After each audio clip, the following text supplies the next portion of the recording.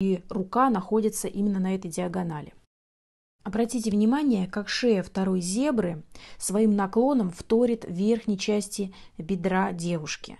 И это здесь не просто так, потому что в любой картине обязательно должны быть сформированы связи. Связи – это как раз вертикальные и горизонтальные линии, которые подчеркивают структуру формата.